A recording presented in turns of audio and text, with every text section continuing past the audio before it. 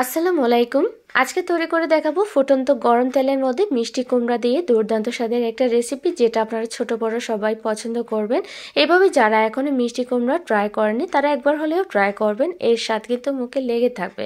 এখানে আমি পাঁচশো গ্রাম পরিমাণ মিষ্টি কুমড়া নিয়েছি আর এগুলো এভাবে পাতলা স্লাইস করে খেটে নিয়েছি। এখন এই মিষ্টি কুমড়াগুলো আমি ফুটন্ত গরম তেলের মধ্যে দিয়ে প্রায় চার থেকে পাঁচ মিনিট সময় ধরে ভেজে নেব। খুব বেশি ভাজার প্রয়োজন নেই, জাস্ট কালারটা একটু চেঞ্জ হয়ে আসলে অর্থাৎ মিষ্টি কুমড়ার মধ্যে একটু লালচে কালার হয়ে আসলে বুঝতে হবে মিষ্টি কুমড়াটা ভাজা হয়ে গেছে। আর এটা কিন্তু হাই ফ্লেমে ভেজে নিতে হবে।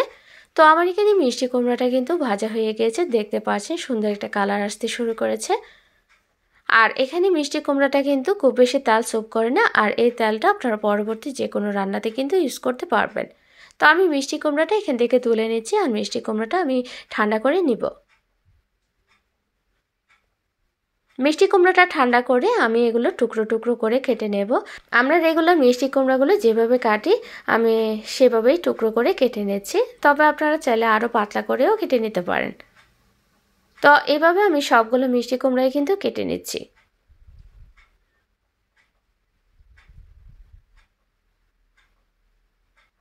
আর সবগুলো মিষ্টি কুমড়া কাটা হয়ে গেলে আমরা কিন্তু পরবর্তী স্টেপে চলে যাচ্ছি। এখন চলে একটা প্যান বসিয়ে এর মধ্যে আমি প্রায় তিন টেবিল চামচ পরিমাণ রান্নার রেগুলার তেল দিয়ে দিলাম। আর এর মধ্যে দিয়ে দিচ্ছি আমি আধা কাপ পরিমাণ পেঁয়াজ কুচি এবং দিয়ে দিচ্ছি সাথে চার থেকে পাঁচ কোয়া রসুন কুচি। আমি রসুনের কোয়া আর পেঁয়াজটা একটু ভেজে নেব। অর্থাৎ কিছুটা কালার চেঞ্জ হয়ে আসা পর্যন্ত আমি পেঁয়াজ রসুনটা ভেজে নিয়েছি।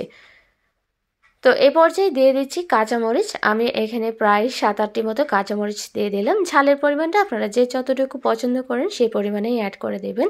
এখন দিয়ে দিচ্ছি সাত মতো লবণ আর দিয়ে দিচ্ছি এক চামচ হলুদের গুঁড়া, এক চা চামচ লাল মরিচের গুঁড়া আর আধা চামচ দিয়ে দিচ্ছি ধনিয়া গুঁড়া। এখন সামান্য পানি দিয়ে দেবো যাতে মশলাটা পড়ে না যায়। খুব বেশি মশলা কিন্তু এই রেসিপিতে দেওয়ার কোনো প্রয়োজন নেই। এখন মশলাটা একটু কষিয়ে নেব।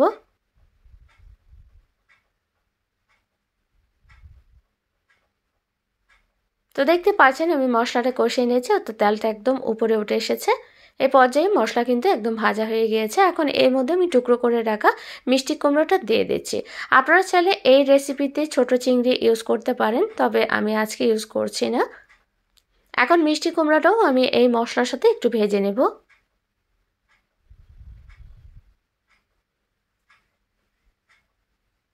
তো মিষ্টি কুমড়াটা আমি এখানে ভেজে নিয়েছি। এখন আমি এখানে কিছুটা পরিমাণ পানি দিয়ে দেবো। আমি হাফ কাপ পরিমাণ মতো এখানে পানি অ্যাড করে দিয়েছি। খুব বেশি পানি কিন্তু আমি এখানে অ্যাড করব না। এখন আবারও পানির সাথে সব কিছু একটু মিশিয়ে নিচ্ছি।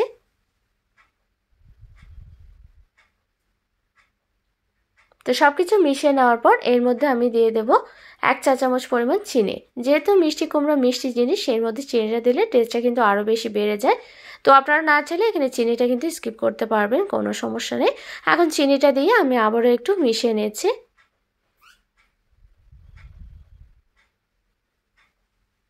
তো সব কিছু মিশিয়ে নেওয়ার পর এখন ঢাকনা দিয়ে ঢেকে একদম লো আছে আমি এটা রেখে দেবো ঠিক পাঁচ মিনিট। তো ঠিক পাঁচ মিনিট পর দেখতে পাচ্ছেন মিষ্টি কুমড়োটা একেবারে একদম সিদ্ধ হয়ে গিয়েছে আর ঝোলটা একটু মাখা মাখা আছে। আর এই মিষ্টি কুমড়ো আপনারা চাইলে রুটি, পরোটা কিংবা সাদা ভাতের সাথে সার্ভ করতে পারেন। ভীষণ মজার হয়ে থাকে এই মিষ্টি কুমড়া। একবার হলেও এভাবে মিষ্টি কুমড়া আপনারা ট্রাই করবেন। এর স্বাদ কিন্তু মুখে অবশ্যই লেগে থাকবে। তো এখন সবশেষে আমি এর মধ্যে ধনে পাতা কুচি দিয়ে চুলা থেকে নামিয়ে নিয়েছি। দেখতে পাচ্ছেন কতটা দারুণ হয়েছে কালারটা আর খেতেও কিন্তু ভীষণ মজার। তো আশা করি আপনাদের কাছে ভালো লেগেছে। সবাই ভালো থাকবেন। আমার জন্য দোয়া করবেন। আল্লাহ হাফিজ।